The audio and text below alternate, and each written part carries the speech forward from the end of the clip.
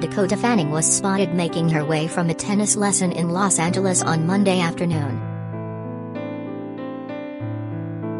The 27-year-old performer was seen cutting a very sporty figure in an all-athleisure outfit while leaving one of the City of Angels athletic facilities.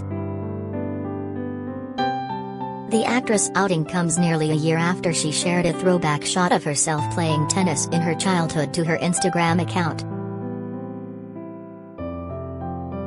Fanning sported a long-sleeve white Adidas athletic top that conformed tightly to her sculpted arms. She also rocked a black skirt from the same brand that showed off her toned legs during her walk at the tennis courts.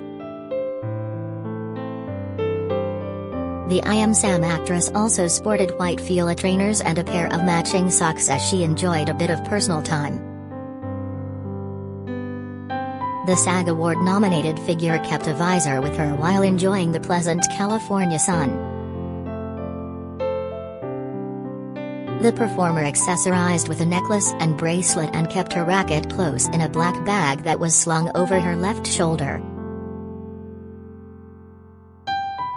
Fanning also sported a black facial covering to keep herself protected from COVID-19 during her time in public.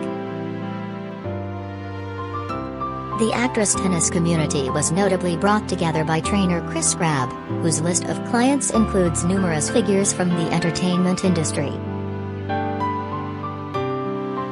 Steve Carell notably spoke about the actor's traits during an interview with The Hollywood Reporter, where he gushed about his ability to bring out the best in his trainees.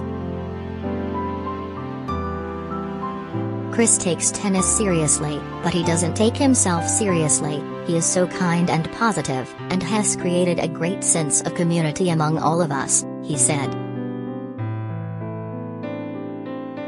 Crabb himself also gave a statement to the media outlet and expressed that tennis was an ideal sport for performers.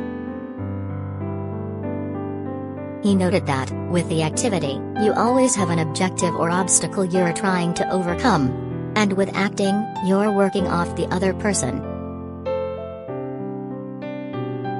Fanning notably shared a throwback shot of herself playing tennis to her Instagram account in March of last year. In the picture, the actress was seen holding a racket and a ball while spending time on a court in her early years. She also wrote a short message in her post's caption that read, My days as a tennis pro. The performer made a point of adding two tennis ball emojis to the beginning and end of her statement.